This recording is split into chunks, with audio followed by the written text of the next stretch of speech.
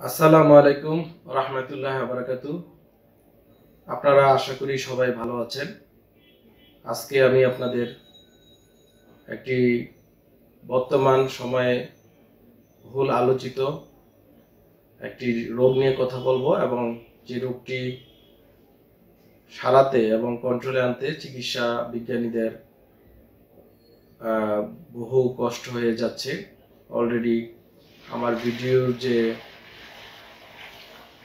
আপনার টাইটেলটি দেখেছেন, আপনারা বুঝতে পেরেছেন আমি কি নিয়ে কথা বলব। সেটি হচ্ছে করোনা ভাইরাস এই করোনা ভাইরাসে আসলে আমাদের যে বিষয়গুলো না জানলেই নয়, এবং আমাদের করোনা ভাইরাস সম্পর্কে যে ভুল ভ্রান্তি আছে, এবং অলরেডি ইউটিউব ফেসবুক বিভিন্ন সোশ্যাল মিডিয়াগুলোতে যে যার মতো করে প্রচার করে যাচ্ছে। তো একজন চিকিৎসক হিসাবে সচেতনতা ডেভেলপ করা আমার নৈতিক দায়িত্ব। আমি অলরেডি আমার পেজ এবং ইউটিউব চ্যানেলে আপনাদেরকে করোনা ভাইরাস সম্পর্কে কিছু বেসিক আইডিয়া দিয়েছি। আশা করি আপনাদের উপকারে আসবে এবং এই ভিডিওটি আপনারা পুরো ভিডিওটি দেখলে আরও উপকারে আসবে। আলহামদুলিল্লাহ যে আমরা বাংলাদেশি মানুষ, এখনও কোনো করোনা ভাইরাস জনিত সমস্যায় আক্রান্ত হই নাই। আল্লাহ ফাকের অশেষ রহমত বাংলাদেশের উপরে এখনও আমাদের জানা মতে এই জাতীয় কোনো রোগী বাংলাদেশে এখনও নেই। করোনা ভাইরাস এটা, এটার আরও বিভিন্ন নাম, যেমন নোবেল করোনা ভাইরাস বলা হচ্ছে। ভাইরাস কি এবং মাইক্রো অর্গানিজম এটা আপনারা জানেন যে এই ভাইরাস, ব্যাকটেরিয়া, এগুলো আমরা বিভিন্ন ক্লাসে পড়ে আসছি। ভাইরাস, ব্যাকটেরিয়াগুলো আমাদের বিভিন্ন শারীরিক বিভিন্ন রোগ তৈরি করতে পারে। এবং অনেক ভাইরাস এবং ব্যাকটেরিয়া পৃথিবীতে আছে, যেগুলো আমাদের বিভিন্ন রোগ এবং মারাত্মক রোগ তৈরি করতে পারে, এমনকি জীবন সংকটাপন্ন করে মৃত্যু পর্যন্ত তৈরি করতে পারে। তার অন্যতম একটি ভাইরাস হচ্ছে এই করোনা ভাইরাস। এই ভাইরাস নিয়ে আমি আসলে মানে আপনারা অলরেডি বুঝতে পেরেছেন যে ভাইরাস এটা কি। যেমন আমাদের দেশে যে সর্দি কাশি লাগে, প্রায় আমরা দেখে থাকি বিভিন্ন এগুলো বিভিন্ন ভাইরাসের কারণে হয়ে থাকে। তারপরে ডেঙ্গু যে জ্বর, সেটাও ভাইরাসের কারণে হয়ে থাকে। সো এই জাতীয় অনেক রোগ আছে যেটা একটা ভাইরাস মানুষকে মারাত্মক শারীরিক ক্ষতিগ্রস্ত করতে পারে, এমনকি মানুষ মারাও যেতে পারে। যেমন আমাদের দেশে এক সময় ছিল পলিও, মাইলাইটিস, আপনারা জানেন। এই পোলিও ভাইরাসের কারণে অনেক বাচ্চারা ছোটকালেই মারা গিয়েছে। অনেক লোক অকালে তার অঙ্গ হানি হয়েছে, একটা হাত শুকিয়ে গিয়েছে, একটা পা শুকিয়ে গিয়েছে বিকলঙ্গ হয়ে গিয়েছে, বাঁকা হয়ে গিয়েছে। সো এই ভাইরাস আমি বলব যে এটা আমাদের পরিবেশে বিভিন্ন রকম ভাইরাস থাকতেই পারে। আমাদের চারপাশে, আমাদের বাসা বাড়িতে আমাদের শরীরে, বাতাসে প্রত্যেক যারা জায়গায় ভাইরাস ব্যাকটেরিয়ার উপস্থিতি আছে, তো সব ভাইরাস বা সকল ব্যাকটেরিয়াই কিন্তু সবসময় আপনার ক্ষতি সাধন করবে না বা সবসময় আপনাকে অ্যাটাক করার তার সুযোগ হয়ে ওঠে না। কখন ভাইরাস কীভাবে অ্যাটাক করবে সেটা নির্ভর করে সেই ভাইরাসের প্রাদুর্ভাবের উপরে সেখানে পরিবেশগত ব্যাপার থাকে টেম্পারেচারের ব্যাপার থাকে, বিভিন্ন মানে আবহাওয়ার একটা বিশাল ভূমিকা এখানে রোল করে থাকে। সে আবহাওয়াতে যদি তারতম্য ঘটে বা পরিবেশগত কোনো সমস্যা দেখা দেয়, তখনই এই জাতীয় মারাত্মক জীবন সংকট সম্পন্ন এই মাইক্রো অর্গানিজমগুলা আমাদের দেহের ক্ষতি সাধন করে থাকে। আর এক এক ভাইরাস এক এক প্রাণীর ক্ষেত্রে এক এক রকম ভাবে ক্ষতি সাধন করে থাকে। কিছু ভাইরাস আছে, শুধু পশু পাখি বিভিন্ন হাঁস জন্তু বা জানোয়ার তাদের শরীরেই বা তাদের সাথেই বিরাজমান থাকে। আবার কিছু ভাইরাস মানুষের শরীরেও বিরাজমান থাকে বা মানুষের চারপাশে থাকতে পারে। তো যখন কিছু ভাইরাস আছে যে ভাইরাসগুলো আসলে পরিবেশগতভাবে মানুষের শরীরে চলে আসে, যেটা মানুষের শরীরে থাকার ওইভাবে পরিবেশত সে নেয় নেয় বা তার দ্বারা সম্ভব হয়ে ওঠে নাই। কিন্তু যদি পশু পাখি বা প্রাণীর সান্নিধ্যে মানুষ যায় এবং সেটা খুব খোলামেলা ভাবে যায় এবং প্রোটেকশন বিহীন যায়, তখনই ভাইরাসগুলা আমাদের মানুষের শরীরে চলে আসতে আসতে পারে। তার মধ্যে ওই করোনা ভাইরাস একটি অন্যতম ভাইরাস। আমরা দেখেছি যে ইতিপূর্বেই আপনারাও দেখেছেন যে চীনে মানুষের আসলে যে তাদের সামাজিক অবস্থা বা তাদের খাদ্যাভ্যাস, এই জিনিসগুলা আপনারা অলরেডি লক্ষ্য করেছেন বিভিন্ন ইউটিউবের মাধ্যমে, বিভিন্ন মানুষের মাধ্যমে যে খাদ্যাভ্যাসে তাদের কিছুটা প্রবলেম আছে, যে তারা কাঁচা অনেক পশু, পাখি বা বিভিন্ন খাবার খেয়ে ফেলে বা তারা আধা সিদ্ধ করে খায় বা তাদের সান্নিধ্যে যায় এবং আমাদের পবিত্র ইসলাম ধর্মে আমরা যে সকল খাবারগুলা ইসলাম ধর্মে ক্লিয়ার নিষেধ করা আছে, যে খাবারগুলা মানুষের শরীরে ক্ষতি করতে পারে যেমন শুকর, তারপরে হচ্ছে কাঁচা প্রাণীর মাংস এবং পশু, যে সকল পশু পাখি, ক্লিয়ার ইসলাম ধর্মে নিষেধ করা আছে, যেগুলা খাওয়া যাবে না, যেগুলা মানুষের শরীরে ক্ষতি করতে পারে। এই ক্ষতিকর প্রাণী আমি দেখেছি যে চায়নাতে মানুষ তারা যারা ওই দেশীয় মানুষ, তারা তাদের মতো করে, নিজের মতো করে তারা এই খাবারগুলা খায় বা এই জাতীয় প্রাণীর সান্নিধ্যে তারা চলে যায়, যার মাধ্যমে এই রোগটা চলে আসে মানুষের শরীরে।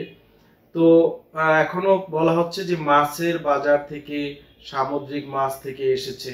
এটা এখনও মিথ আছে, আবার কিছু ক্ষেত্রে বলা হচ্ছে যে এটা বাদুরের স্যুপ খাওয়া থেকে বা বাদুর থেকে এসেছে। হতে পারে মাছও, মাছ এক প্রকারের প্রাণী যেটা আসলে মানুষ জাতের মধ্যে পড়ে না।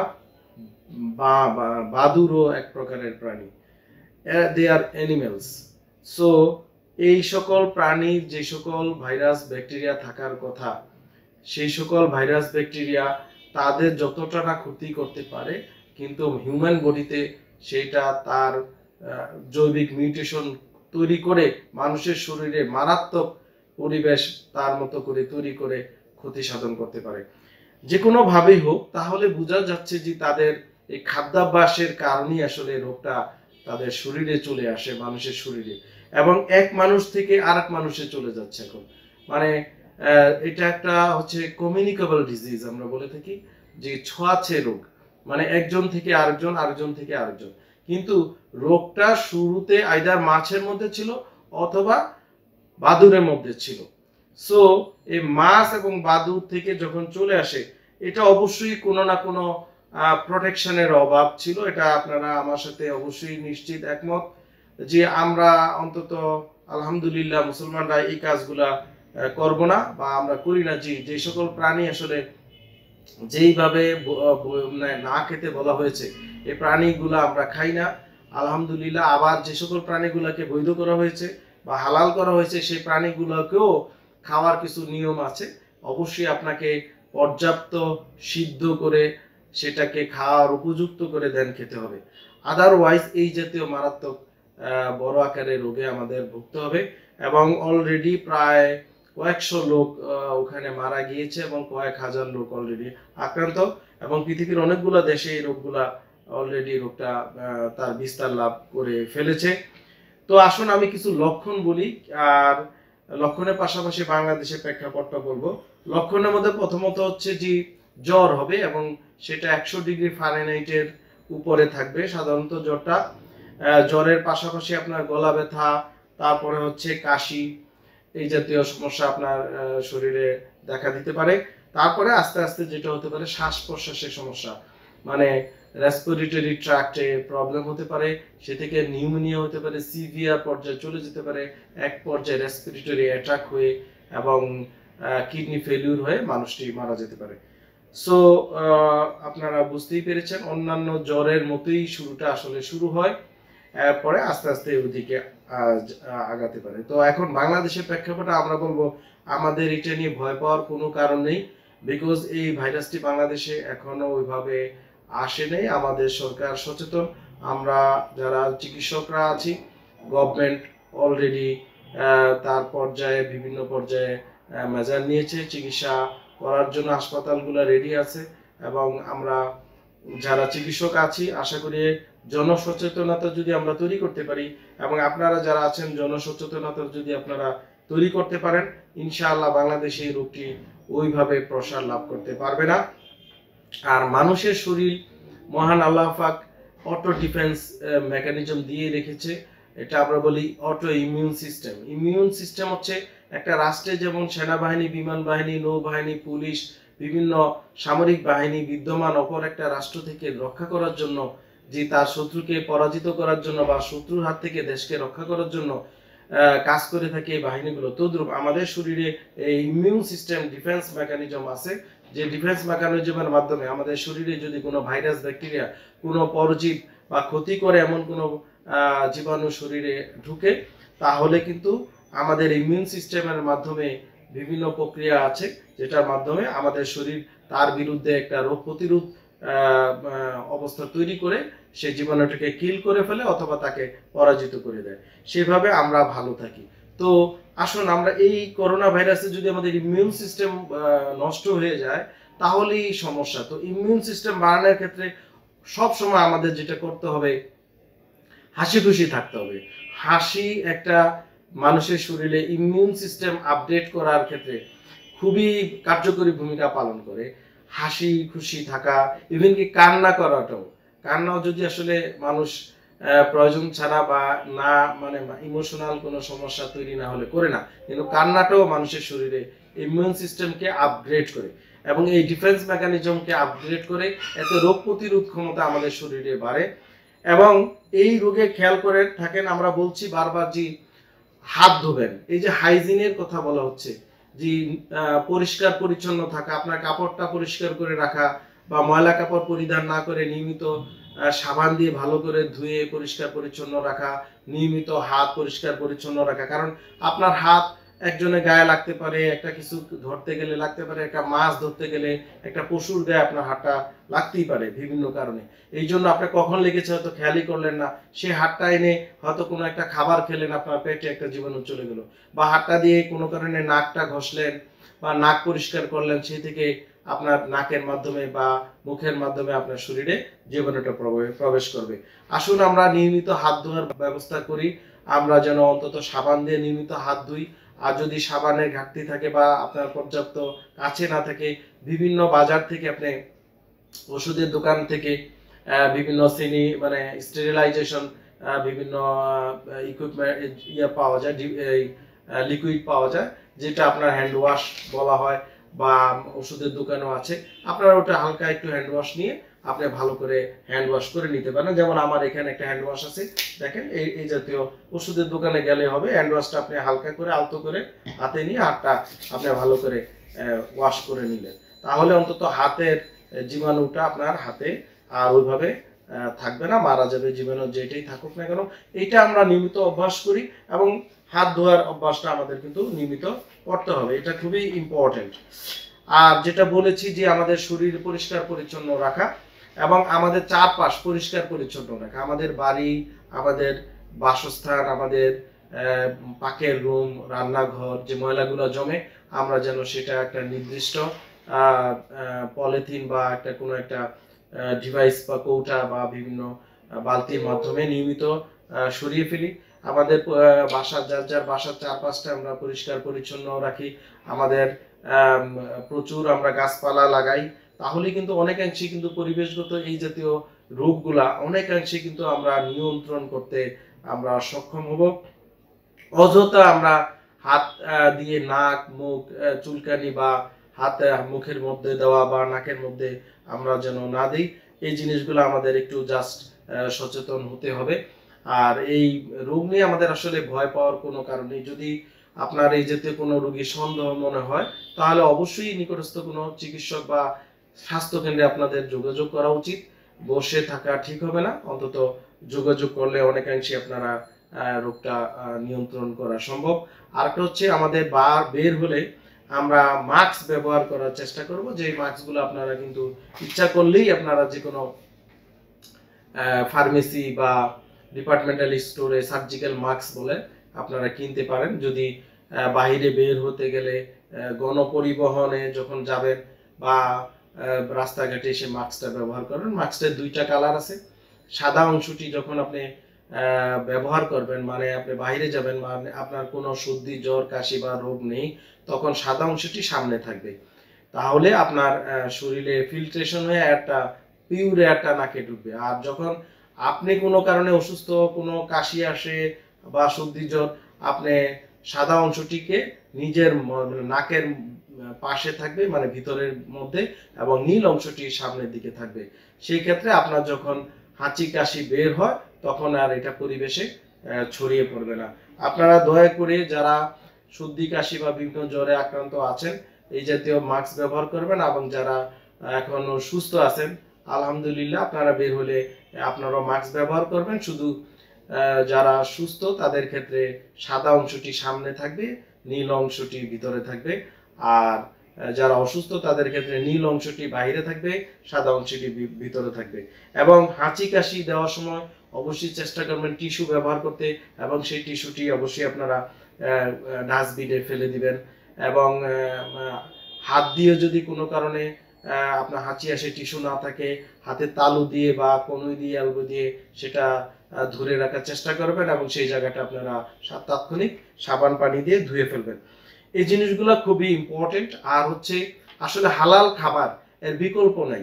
হালাল খাবার এর বিকল্প নেই, আমি আবারও বলি, হালাল খাবার মানুষকে অবশ্যই মহান আল্লাহাকের নির্দেশনা যে মানুষ সুস্থ থাকার জন্য।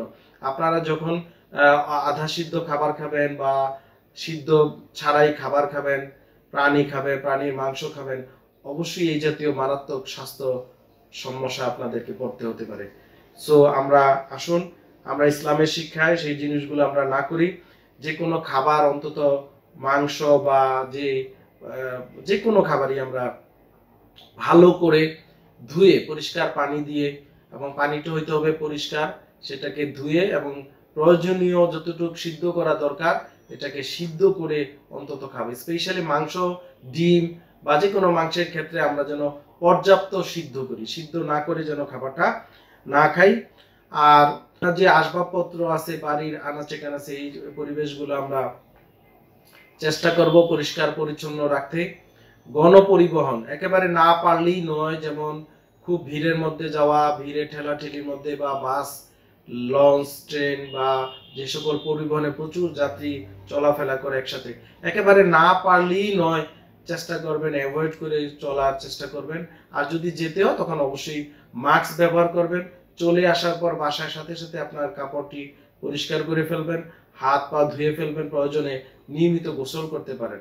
আর হচ্ছে আপনি, আপনাদেরকে এই যে নিয়মিত কুলি করা, পরিষ্কার পানি দিয়ে, নাকে পানি দিয়ে, নাক ধৌত করা, এই অভ্যাসগুলা মুখ পরিষ্কার সাবান দিয়ে নিয়মিত পরিষ্কার রাখা অন্তত তিন থেকে চার পাঁচবার যদি করা যায় প্রতিদিন, তাহলে অনেকাংশে এই জাতীয় রোগের, এই প্রাণঘাতী রোগ থেকে আমরা নিজেদেরকে রক্ষা করতে পারব। Because prevention is better than cure যেহেতু এই রোগটি এখনও বাংলাদেশে ওভাবে প্রচার ওভাবে প্রাদুর্ভাব হয়নি। আল্লাহ না করুক যদি হয়ে পড়ে আমাদের এই দেশ আমরা মারাত্মক স্বাস্থ্য সম্মুখীন ঝুঁকিতে পড়ব। সো আমরা যদি আগেই প্রিভেনশন নিতে পারি, এই ভিডিওটি আপনারা শেয়ার করে দিবেন, যেন সবাই সচেতন হতে পারে অন্তত ভিডিওর মাধ্যমে যেন আমরা ভিডিওর মাধ্যমে আপনার যারা পরিবেশের আমাদের পরিবারের লোকজন আছে, সামাজিক লোকজন আছে, সবার, সবাইকেই যেন সচেতন আমরা ডেভেলপ আপনি নিজে একা সচেতন হলে হবে না। আপনার বন্ধু বান্ধব আত্মীয় স্বজন সবাইকে বাচ্চাদেরকে বা বাবা মা সবাইকে সচেতন হতে হবে। বিকজ তাদের মাধ্যমেও তো রোগটা ছড়াতে পারে। সো এই জিনিসটা খেয়াল রাখবেন।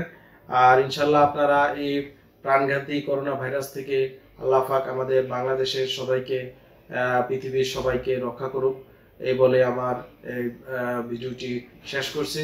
আপনারা সবাই ভালো থাকবেন, সুস্থ থাকবেন। আসসালামু আলাইকুম ওরহমতুল্লাহ বারকাত নিয়মিত স্বাস্থ্য বিষয়ক আপডেট ও পরামর্শ পেতে আমার ইউটিউব চ্যানেলটি সাবস্ক্রাইব করুন ও উপরের ডান পাশের বেল বাটনটি চাপুন এবং আপনাদের অন্যান্য সোশ্যাল মিডিয়ায় এই ভিডিওটি শেয়ার করুন।